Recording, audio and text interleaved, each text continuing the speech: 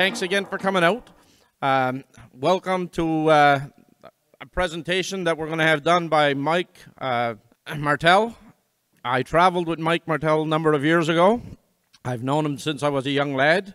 Uh, now he's retired and going around doing some presentations, and uh, I'd like everybody to give Mike a warm welcome here. and he's going to do a speech. Uh, after he's done his speech, we'll have another gentleman uh, make another speech, and then you can ask any questions and mingle about after you start done your questions. And don't be shy; it's a great opportunity. Okay, thank you very much. Come on up, Mike. Thank you very much, buddy. Thank you, Ben. For those of you who might not know me, let me introduce myself. My name is Mike Martell. I am the oldest son of Hen Marjorie and Henry Martell. Some of you might remember my dad. He was a musician at more house parties than I could count. Though I was born in Seaforth, Ontario, I spent the better part of my early years in Pondville, Isle Madame, after we moved there in 1970. I'm here to tell you a bit about my early years in Pondville. The start of my mental health challenges when I was in high school, and many years as an adult struggling to overcome those challenges in order to live a more normal life. I hope my story will help reduce the stigma associated with mental health issues and in some way and in some way offer hope to those who may be living with mental illness or caring for someone who is. Pondville was a great place for me was a great place for a kid like me to grow up. Like other kids my age, I kept busy playing games like baseball, skating, tobogganing, and swimming with friends such as Dennis Boudreau, Glenn Kinslow, and Paul Maltby. I particularly remember playing ice hockey on an outdoor rink in Rocky Bay. A bunch of us would get together after a snowstorm and clear the ice with shovels. Then we'd start skating around, slapping the puck back and forth, pretending to be famous NHL players, scoring the winning goal in a Stanley Cup playoff game. The very best times were when we played at night under the lights, which were strung up and over the rink. It was friggin' cold. I don't mean cold, I mean friggin' cold. But it was kind of magical racing down the ice on a breakaway, under the lights, under the stars, scoring goal after goal after goal, and all the girls in our imaginations screaming out our names. In the summer, in the spring and summer, I used to go fishing a lot at Grand Lake on, or out on the ocean with my dad's boat and my grandfather. The boat was called the Lucky Lady, and most of the time we were lucky. We rarely came back empty. We rarely came back empty. We caught lots of mackerel, cod too, gave some away, froze some, and ate the rest. It didn't matter what the season, Life for me in the early teens was great. Lots of friends, lots of things to do, and a great community to live in. I have I was having so much fun. I didn't see the darker clouds that were getting that were gathering on the horizon, waiting to change me. When I got older, I went to high school at Isle Madame District High. Grade 10 was not too bad. I liked my English teacher, Mr. Roy Boudreau, and my science teacher, Bernie Sampson. I did really well, getting good marks that year. But in grade 11, things started to change. I began hearing I began to hear voices in my head, upsetting voices. I got really confused. I found it no I found I no longer wanted to be around people. No more pond hockey or baseball or heading out on the lucky lady. I started to withdraw from all that I was from all that like a turtle backing pulling back into its shell.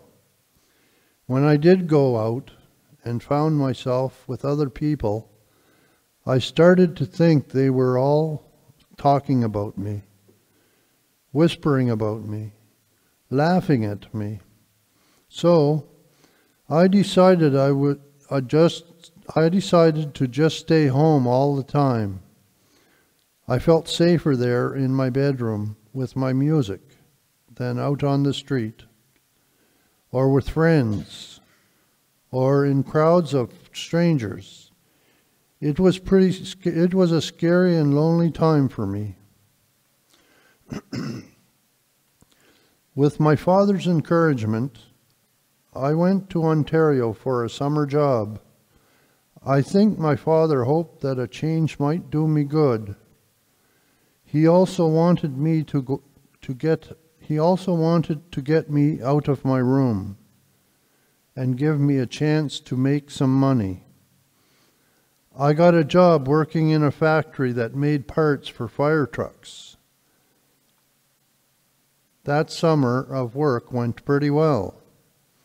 But when I came home to finish high school, I found things became even more difficult than before.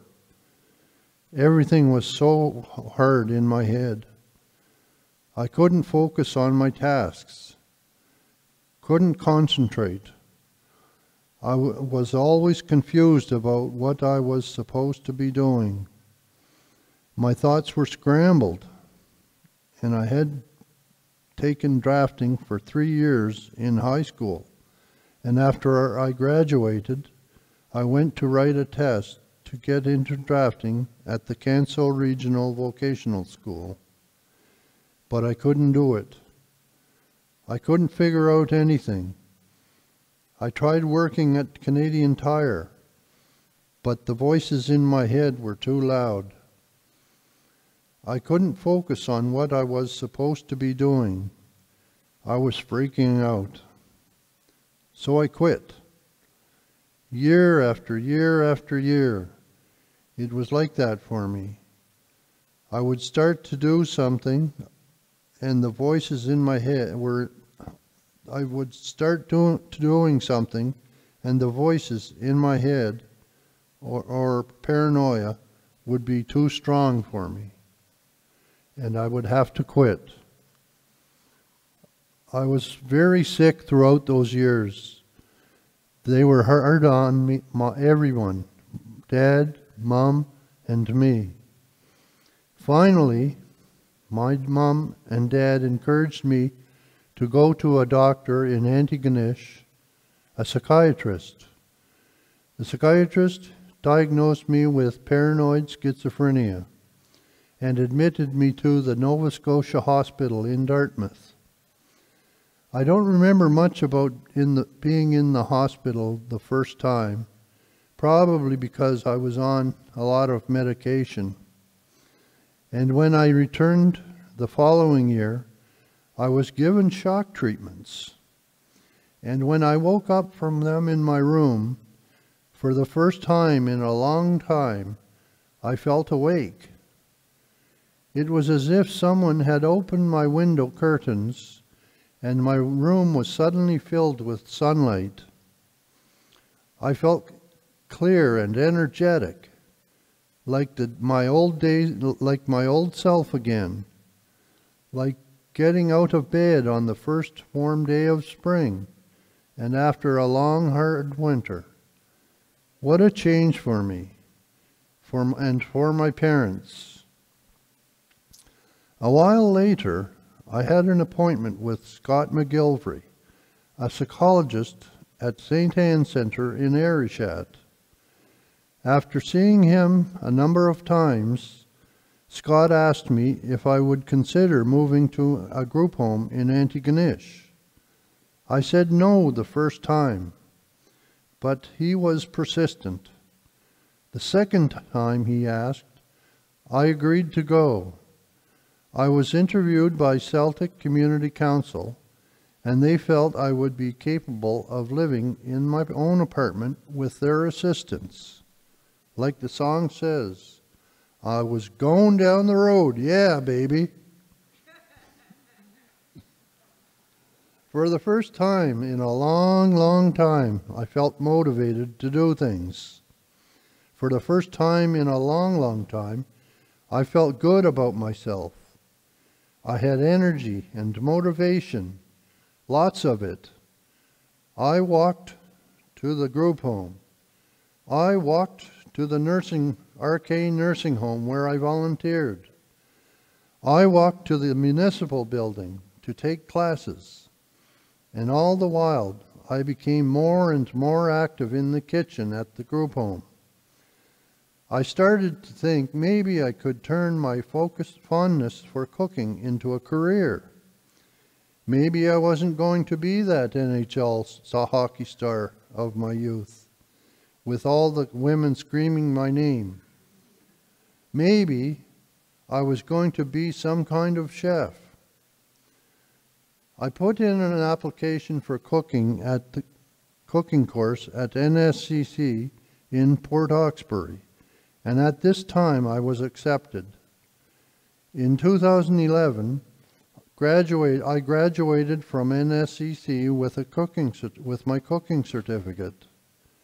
My mom and dad were there the day I graduated. After so many years they had spent caring for me, worrying about me, they were pretty proud of how far I had come. I was pretty proud of myself too. I, I, it was such a relief to finally be a person who could do something well, something other people valued. I immediately started to look for work in Antigonish and was interviewed by Chef Mark Gabriel at Gabriel's Bistro. I was nervous. Gabriel's was a pretty high class restaurant, but after my interview, Chef looked at me and said, Come into work on Monday. I had a job. The guy who couldn't hold down a regular job for so many years had a job, and a good job, in a classy restaurant. Working at Gabriel's proved to be very reward, a very rewarding experience for me.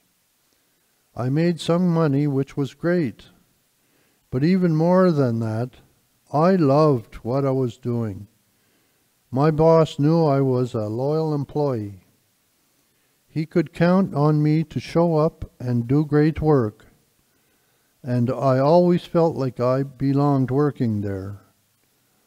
I was part of a team, an important part of a team. And Chef showed me his appreciation many times. Twice he paid for me to fly to Ontario so I could visit family. He gave me time off work when it was needed. He was also there for me, always supporting me. After 21 years of working with Chef, I finally retired a few months ago. It had been a great relation, great partnership for the both of us. He changed my life. Thanks to him, I had had a career, something I thought so many peop- so many years would ne- never be possible. In 2007, I was nominated for the Nova Scotia Inspiring Lives Award. I was one of four Nova Scotians who won the award that year. Some very good friends took me to Halifax to receive my award. The award was for all the challenges I had overcome, all the things I had achieved, like graduating from NSCC and working at Gabriel's. If you had told me years before, during my dark times, that one day I would be told by the province I was an inspiration to other people facing similar challenges, I would have told you, you not to be so foolish. But sometimes life has a way of surprising you. And some and surprises for me just kept coming. A few years after receiving that Inspiring Lives Award, I was approached by a mental health nurse at St. Martha's Hospital and asked if I would be interested in helping reduce the stigma associated with mental illnesses by playing in a play, by being in a play. Well, I was used to chopping vegetables, chop, chop, chop, chop, chop. But I never, but I had never thought of myself as an actor. Nevertheless, I said I would do it. I joined a group of five other adult Antigonish adults who were also living with schizophrenia. We were called, we were created, the play we created was called I Get By with a Little Help from My Friends. The old Beatles song, some of you in the audience might still remember.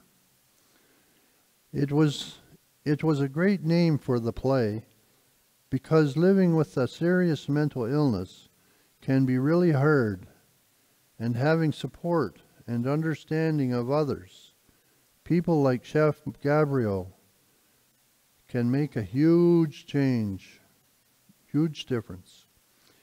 We called ourselves the Park Bench Players, and after about a year or so of rehearsals, we felt we were ready to put on a performance. We wanted to try and educate people about mental health issues we wanted to bring those issues out of the darkness and into the light. We were going to do that by telling our own stories as honestly as we could. We decided we would put on one performance and that it would be for our family and friends only. We were nervous about how the public audience might respond to what we had to say. We were nervous about having the courage to talk publicly about our illnesses. Well, we didn't need to be nervous. The play was a ginormous hit. Our message was heard and appreciated.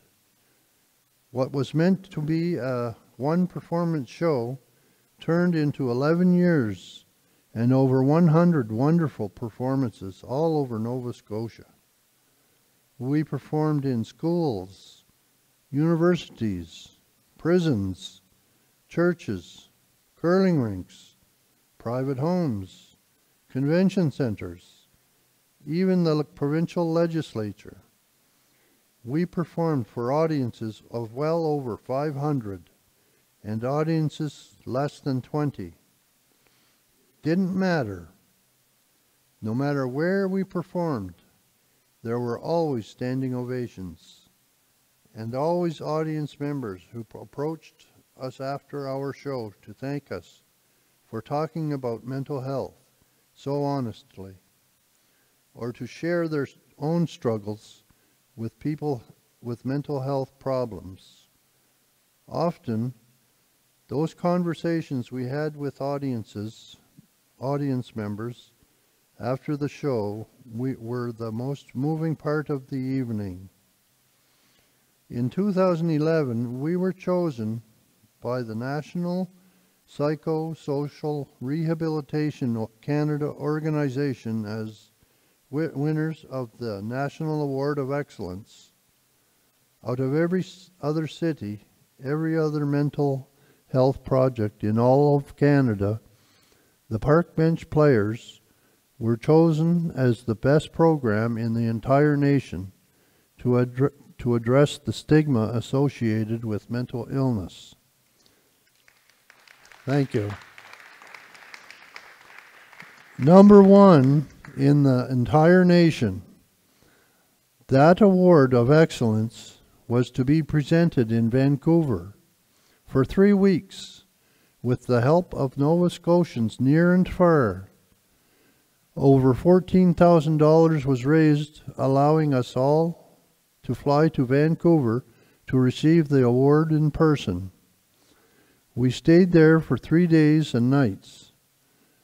It was one of the best times of my life. And we went and we came back from the big city on the west coast to the little town on the east coast. Antigonish held a parade through Main Street in our honor. We were not hockey players or Highland dancers or big shot politicians. We were six people living with a serious mental illness, and the town was proud of us. And we were proud of ourselves. We felt like we were no longer invisible. People we didn't know would come up to us on the street and thank us for what we were doing. We started to think of ourselves as agents of change, stigma busters. We were making a difference not just in one not just in our own lives, but in the lives of all kinds of other people too. The players went on to win two more national awards over the following years, along with a number of provincial and local awards for our efforts. We were preparing to celebrate performance number 101 when COVID hit. That's when we took our final bows and sadly left the stage for the last time. We had planned on doing only one show. We ended up doing 100. It took a pandemic to stop us. Being a park bench player, taking our message of hope and support to so many people over so many years has made me feel confident that things can get better for people living with a mental illness or ca- caring for someone who is. I have been fortunate. I did get by with a little help from my friends. Friends like my mom and dad and my teachers. Friends like Chef Mark Gabriel, my doctors and nurses, and other and the other park bench players the strangers on the street who congratulated us, and the audience members who over the years have shown their own struggles with us. We get by with a little help from our friends, ladies and gentlemen, people like you. My name is Mike Martell, eldest son of Marjorie and Henry Martell.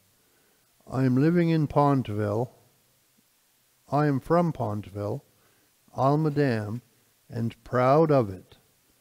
Some people say I am schizophrenic. I tell them they are wrong. I am a person living with schizophrenia. I am so much more than my illness, so much more. I would ask you to keep that in mind the next time we meet on the street. And keep that in mind when you meet anyone else living in who is living with a mental illness. We are people, people in need of support, kindness, understanding. It is a hard road to walk for those living with a mental illness and for those caring for people who are living with a mental illness. It is so much better to walk the road carrying, caring, so much better to walk that road with a caring community. So much better than walking alone. Thank you for inviting me here today to tell my story. It had been a kind of homecoming for me. My message of, is one of hope and one of caring. Remember, we get by with a little help from our friends. Thank you for offering me your friendship by listening to me today. It feels good to be home. I guess Jim is going to come up now. Jim Mulcahy. He's going to talk a little about everything. Where's Jim? He must. Oh, there he is. He's slowly making his way up here. Mike, asked if I would just come up and explain a little bit about the Park Bench players, how they came to be, and the uh, difference it's made in the lives of individuals. Uh, my name is Jim Mulcahy. I taught until uh, Mr. Cancer made me a visit in Antigonish for 33 years, originally from Halifax.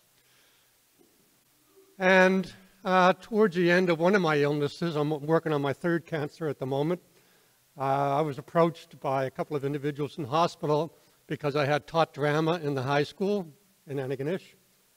And uh, they asked me if perhaps I could participate in developing a play that might address the issues connected to the stigmas associated with mental health issues. uh, I was eager to do so because I had been forced to retire. I still wanted to be a teacher, but the cancer prohibited me from doing that. Uh, initially, what we tried to do was interview a number of high school students in the area and gather their stories. And I would write a script based on those stories and then we would audition it to other high school players, and then we would tour it, particularly among the high schools. So we did meet with a number of kids, grade 10, 11, and 12, who were experiencing significant illnesses, be it depression, anxiety, uh, schizophrenia, illnesses that were troubling them, uh, embarrassing them, shaming them, prohibiting them from participating in the lives of other teenagers. Uh, and therefore, we're, we're in need of being praised, praised rather than shamed. We had the interviews, I started to develop the skits, and the kids backed out. And that points out to you something that Mike uh, talked about in his address very difficult and very different to be living with a mental illness than a physical illness. I remember teaching multiple times where a kid would break his ankle or break his arm skiing or falling off a tree. Guess what? That kid came to school the next day with the cast on his arm because he wanted everybody to sign it. Okay? It was a story that he was proud of telling, or at least it was something that he was not embarrassed about or prohibiting him from living a normal life. But a mental health issues are often different than that. They are often kept hidden. So the kids suffer alone, and these kids, although they were not going to be telling their own stories, felt they could not even have their stories told because somebody sooner or later would recognize them and perhaps give them a hard time that collapsed, that failed, that effort. So then we went to the uh, director of adult mental health and the director of uh, adolescent mental health and asked if perhaps we could solicit a number of individuals in the community, adults who were living with mental health issues, and bring them in. And instead of auditioning other people to tell their stories, they would do it themselves. And we had six people who volunteered. Sir Michael the Bike came riding in on his bike, okay, like a knight in shining armor. Uh, Stacy Septon, who is at the back here, also came in. He's another one of our players. Yeah. Uh, we had uh, Fran Nunn, uh, who played the part of uh, Fabulous Fran, the fortune teller. Outrageous. Anybody who's seen the play? Outrageous behavior. Uh, and Louise Hall, and who did I miss? Pat Chisholm. And we spent about a year developing a script. They told me their stories. I would sit down with them and try to create a script. Uh, they told me that there were only two things. Well, the main thing I remember was it had to be fun. It had to be funny. No preaching. So if anybody has seen the play, you remember that there were quite a few scenes in the play that were comedy more than serious, okay? Uh, one of the first opening ones is that Pat Chisholm was sitting on the park bench. All we had on stage was a park bench. Okay? Pat Chisholm was, is an artist. And so he was sitting here, Fran Nunn was sitting there, and Big Mike came out to try to sit down with them. And so he would come in and move his large house down onto the bench and shimmy the other players away with his bum. Okay? And that usually got a laugh and started to indicate the kind of atmosphere we were trying to create. We weren't going to beat people over the head of the sadness of this thing. We weren't going to ignore it, but we wanted to do it in a kind of com comedic fashion. And it worked. There were some very serious moments. Each of the players read a monologue that's very, very serious. The monologue at the very middle, Mike referenced in his very closing lines. And uh, I would ask you, as a writer-director of these characters I've been with for now 12, 14 years, to remember what Mike said. What he said at the end there. Uh, he's not a schizophrenic, ladies and gents.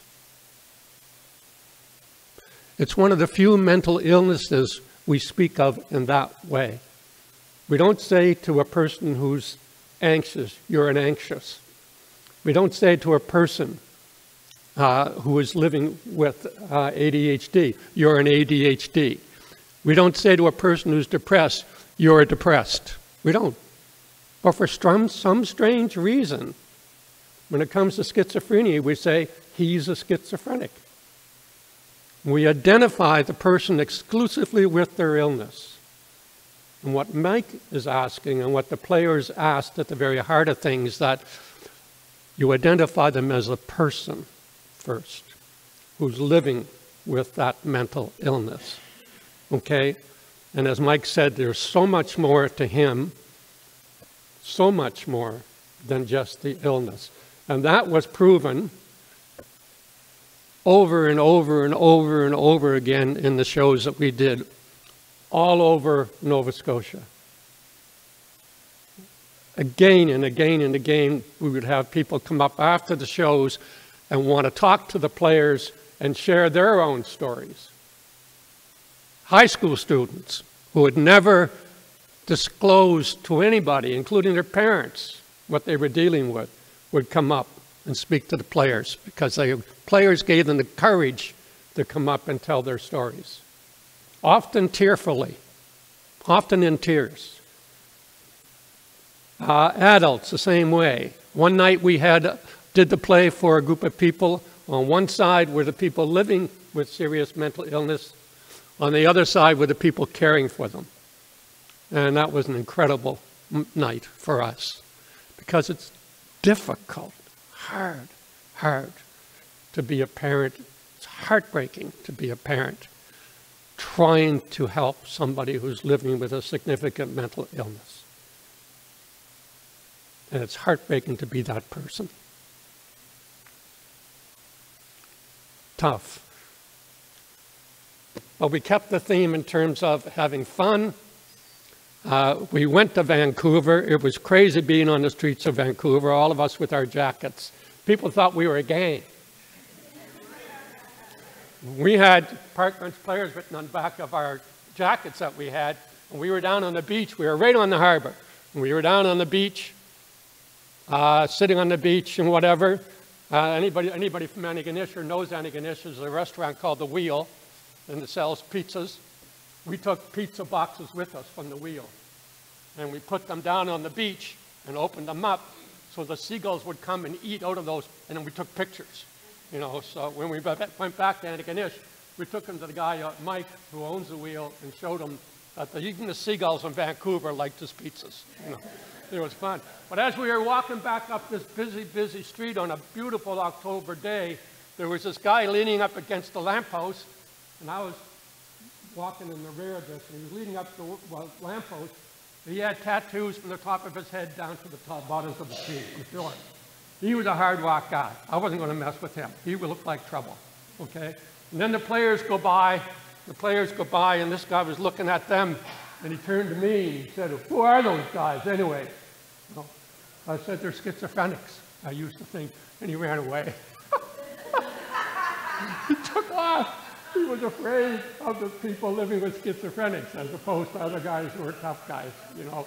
It was a lesson for me that that word carries such power that it frightened even a character like that.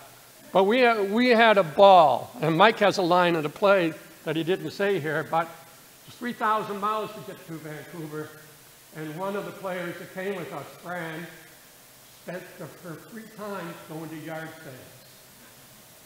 And that was Mike's line in the poem. He, go, he went 3,000 friggin' miles to go to a friggin' yard sale. and she did. She did. Uh, I was very sick when the players started. I was very sick emotionally, second cancer, crummy prognosis, had to quit my job. My wife was sick and later died of the illness that she was sick with. It was a very challenging time in my life and the life of my kids. Three of my kids had inherited the same disease that killed my wife and will die from it. And I suddenly was introduced to this gang of ruffians, the crowd, the likes of this character here, and Stacy and Fran, and they, they literally saved my life. Working with these people was saved my life.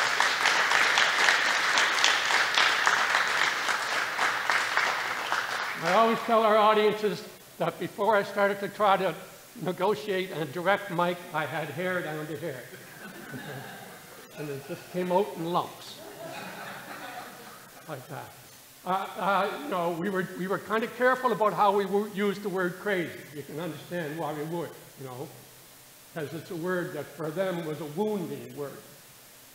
Uh, but we were crazy all the time. It was just, you know, it was silly. It took us a year to get down a three-act play. Uh, I would have imagined it would have taken us a month. And most of that because we were so foolish all the time. And we rehearsed in our basement, my basement, and uh, my wife, who was ill, uh, adored them and came down and sat with them. And it was wonderful for me. We did 100 shows. She was able to, to travel to 70 of them before her illness wouldn't allow her to travel any longer. And they were wonderful with, them, with her, pushing her wheelchair around, etc. Uh, but I guess what I want to communicate to you, and we were talking about this earlier, uh, this sense of community, eh? You have it here. This hall is incredible. And what you do with this hall is incredible. And I was congratulating this gentleman who tried hard to get us to come here, and we ran out of time. But I think this is just a fabulous community. You get the sense of community as soon as you come in here. Uh, we, we had that with the players. We had this little tight community of people who enjoyed a lot together, had a wonderful successes together, and it came to an end because of the pandemic. But just keep in mind what Mike wants you to think about. I don't think, I'm making a guess here, but I'm just guessing because based on experience, I strongly suspect that in this room, all of you, if not all of you, many of you are aware some individual within your extended family perhaps or within your community who is struggling with a mental health issue. I'd be surprised if it wasn't the case. What Mike is asking you to do is to be patient, is to provide support, kindness, understanding, and that's not easy all the time. As Mike said when he was hiding in his face, in his room, listening to music, day after day, year after year, year after year. I imagine that was really hard on your mom and dad. But his final message was one of things can change. Hold on to that hope.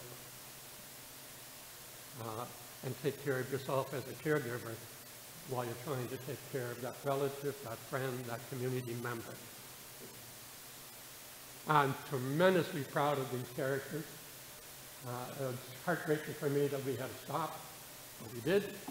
Uh, Mike's taking his show on the road as a one-man stage production. So uh, he's meeting with uh, people in the medical community, talking about his story so that perhaps they understand better how best to approach people who are living it. We met, by the way, one thing we didn't mention, we met for a year with uh, various groups of Mounties. Uh, because the Mounties had almost no training in how to respond to a call that involved people who were mentally ill. And if any of you read the American uh, press, you'll know that probably 80% of the time, when their police forces approach somebody who's dealing with a mental health issue, that guy ends up dying. So we met with the Mounties uh, over the length of a year frequently and trying to communicate to them how best to approach individuals such as themselves who might be living with an illness and are troubled and how to approach them. Well, they've done a lot. They changed me, they saved my hide. They've changed numerous other people. Uh, their play was tremendous success. They did what they set out to do uh, was to break, the, break down the stigma associated with mental health illness. And as Mike said, they brought it out of darkness into the light. Uh, and they were not invisible any longer.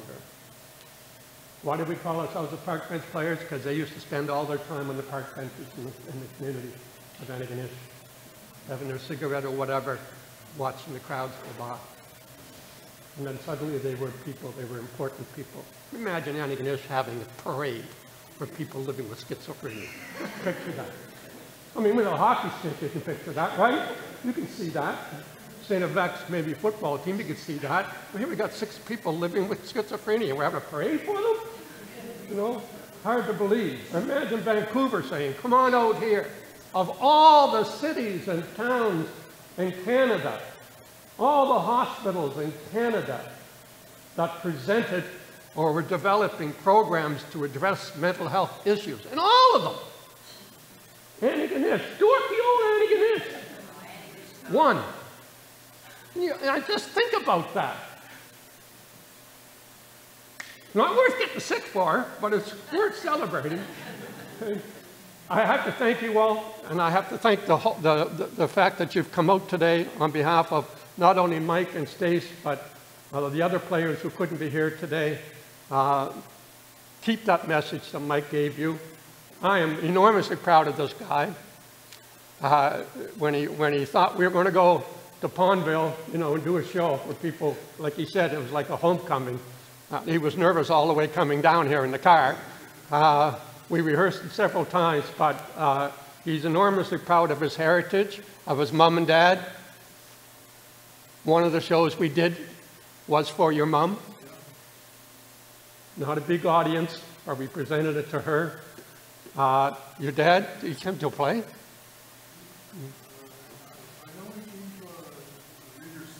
Yeah, yeah.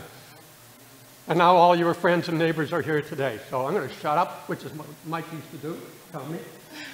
And, uh, but I just want you to know how proud I am of these, this person who was raised here in this community uh, and had an enormously challenging struggle for the better part of his life.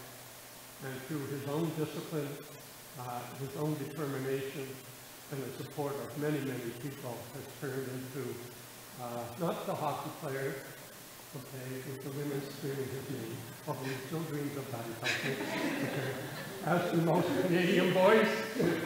Uh, but a man who has changed the lives of people far as Vancouver uh, to cancel Gosford, North Dakota. Uh, lot of time, a lot of Stacy to stand and Mike to stand and take a copy. Okay.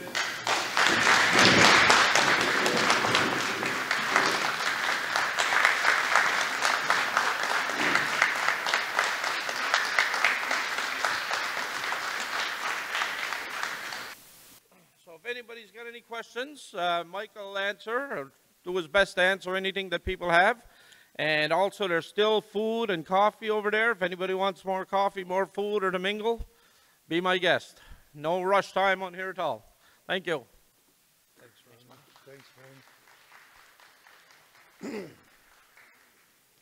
Anybody have any questions they'd like to ask me?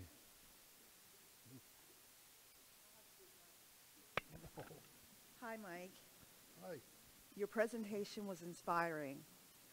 What is your key to wellness? Like, what things should I incorporate in my life, in my daily life, that you can define mm-hmm. and help me reach those goals? Hmm. Well, for me, it was determination. I had to keep myself busy. I found that a very, very important thing to do. And that gave me more incentive to, to do things that I achieved, like going to college or, or being in a play or talking to people. And I just kept busy doing things and it just kind of grew on me, and especially with the play because it gave me more confidence in myself. I could be walking down Main Street in Antigonish and people would say hi to me.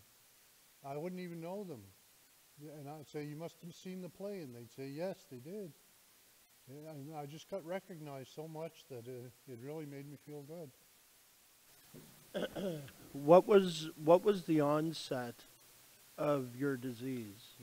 So you said one, you know, you stopped going around people. Yes. Like, did this happen all of a sudden? Were you diagnosed with schizophrenia right away, or was it something was that was diagnosed over a period of time? Well, when I first got diagnosed, uh, I think it happened pretty fast, pretty quick, because I uh, I remember being in a car. I won't mention any names or anything, but I was in a car and I was I used to smoke dope back then, and uh, this guy was in the car. I didn't know who he was, and he had lit up a joint, and it was there was uh, angel dust in it. I didn't know that. And Right after smoking that, that just uh, blew me away. That it, I think that's what the main part of it, and stress too. You know, was a was a big thing. I know for my illness, it all started with depression. Did, did similar things happen to you that precipitated your diagnosis? Well, after I was sick, uh, I was suffering. I still do suffer from de- depression, and it would bring me down. You know, I didn't feel like doing much. I felt really like seasonal affective disorder, so something like that maybe. And then I went to the doctor and got prescribed uh, medications like uh, antidepressants. And that has helped me along the road really good. And the medication's a big thing. I find people that, if people don't take their medications with a mental illness well, that could be a very bad scene, bad story for them. But I've been really good taking my meds and did well for myself. Yes, Ann? You miss working at the restaurant, Mike? Well, yeah, now they're retired, I did at first miss the, I missed working there, yeah. But now I, I, I don't miss it, I, I love it, I, I can do and do whatever I want with Yeah. my girlfriend Tony. Yeah, excellent. When you were playing pond hockey, um, were you in Es, uh, Es, D'Escousse here, uh, around here? Did you did you leave? Did you have to leave here and go to schools in other parts of Canada, or was it, or were you always coming back here every vacations, or?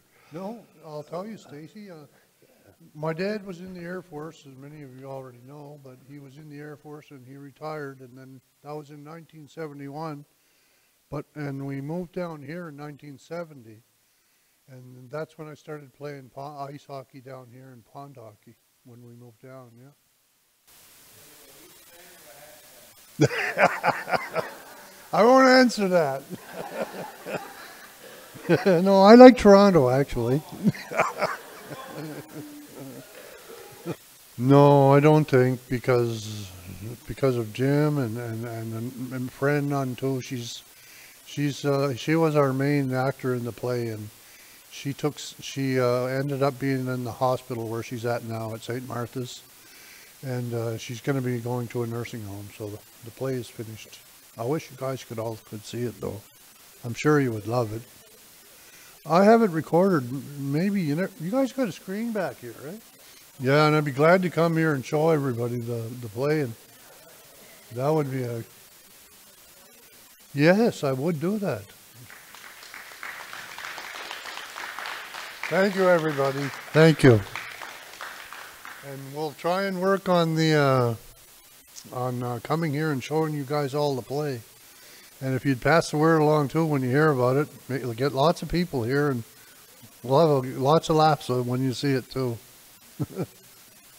so I guess that's it, is it? I think that's it.